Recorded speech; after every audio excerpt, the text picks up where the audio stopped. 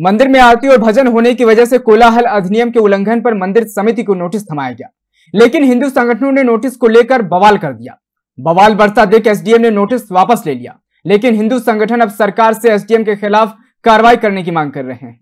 छतरपुर में स्थित नरसिंह मंदिर की समिति को एसडीएम बलवीर रमन ने नोटिस जारी किया। नोटिस में मंदिर की आरती और भजन की वजह से कोलाहल अधिनियम का उल्लंघन होने की बात कही गई। नोटिस में प्रशासन ने हिदायत दी थी कि यदि मंदिर समिति ने नियम के अनुसार कोलाहल पर रोक नहीं लगाई तो प्रशासन कठोर कार्रवाई करेगा। लेकिन नोटिस मिलते ही हिंदूवादी संगठन के नाराज़ होने से आनंद फानन में एसडीएम ने नोटिस वापस ले लिया और कहा कि स्थानीय लोगों की शिकायत के आधार पर नोटिस जारी की गई थी। लेकिन जाँच में मंदिर समिति सभी कानूनी दायरों के अंदर रहकर आरती कर रहा है, इसलिए नोटिस वापस ले लिया गया।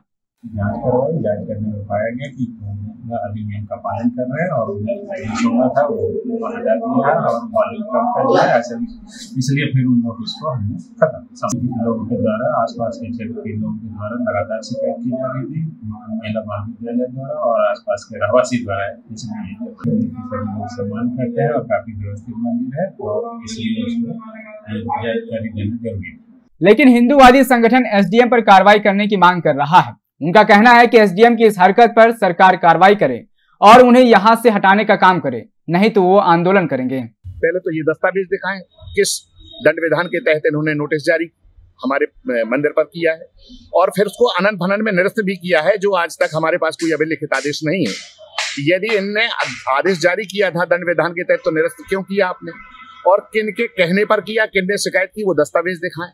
इस पर हम आज निर्णय लेंगे और यदि इन्हें नहीं हटाया गया और इस प्रकार की इनकी कार्रवाइयाँ हिंदू धर्म के खिलाफ इनकी इस प्रकार की कार्रवाइयाँ चलती रहेंगी तो हम बड़े स्तर पर आंदोलन करेंगे इन्हें हटाने की मांग करेंगे।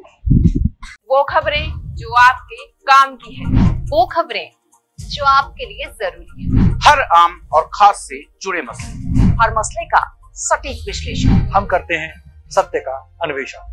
दखल न्यूज़। आपके हक में। आप देख रहे हैं दखल न्यूज़।